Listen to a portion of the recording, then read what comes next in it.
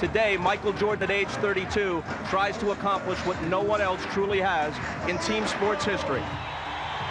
Michael Jordan has returned and he's wearing number 45. I knew my father would never see me playing another number, and I felt it was a new beginning, so why not change it back to something that I had uh, played with when I first started in high school. No tap, run your basic, okay? If tap, run your center opposite. It was a very nervous experience for me uh, because I never thought I would be playing again. Jordan still looking for his first field goal, and there it is. Michael Jordan.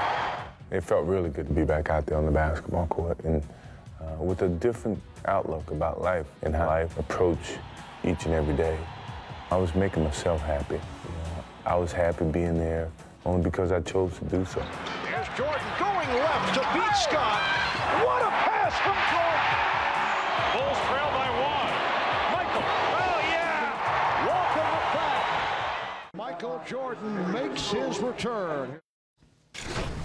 Well, after saying, I'm back, in what would have been the greatest tweet of all time had we had Twitter, 20 years ago, Thursday, March 19th, Michael Jordan made a triumphant return from a uh, hiatus of uh, more than a year away from basketball. He, he went to go take on our good pal Reggie Miller, and, and of course his teammate Scottie Pippen was really excited about it back then. And now there is Twitter, and people are, are recalling it. There he Scottie. Pippen Pip.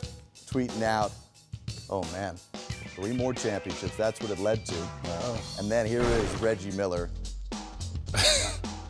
Reggie knew he had to get some sleep. Hey, Reggie knew he had to get some sleep. Let's talk about your 95 Orlando Magic, who ultimately you, you'd go on to the NBA Finals. Mm-hmm.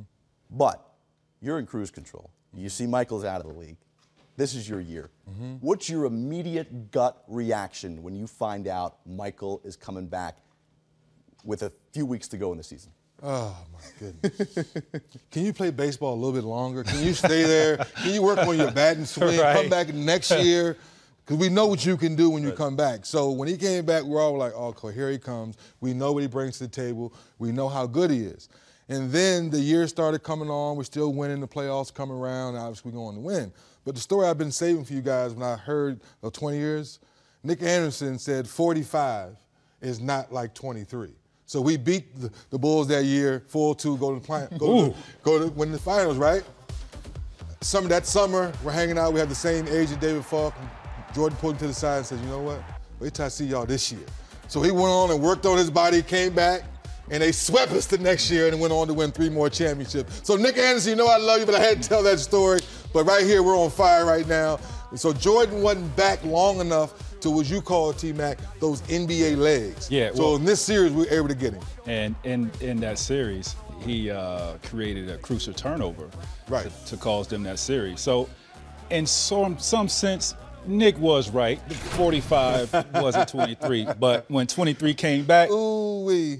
man, better than ever. Better than ever, and we were the first victims of that being swept for him You to go win three more in a row. You felt it. But hey, let's point out here, not only did you get Michael, but you got Reggie there too, because Yes. Reggie's thinking, Yes. this is my year. Yes, exactly. Great call. That's a great call because going to that series, Reggie was rolling. I think averaging almost 30 points a game. The Davis twins down there doing what they doing. It was their year. But Penny and you know Shaq was leading the way for us.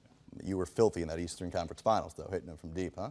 Hey, I always say it all the time, and you know this. When you play with great players like this, I want them to get tired because then they got to pass the ball to me. Gotta give it to you. well, um, you've had to guard Michael on occasion, but uh, the, the, the conversation we want to hear from you, which is incredibly ironic, is that you've always had this dream of playing baseball, and not too long ago you finally got to, to live it out playing a, in an independent league with Roger Clemens' team in, in, in Texas.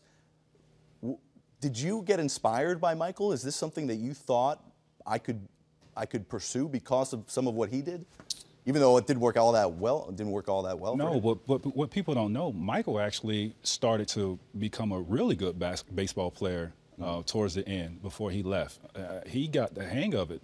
Um, but for, for me, my motivation was just as a kid, I always loved the game of baseball. It was my first love.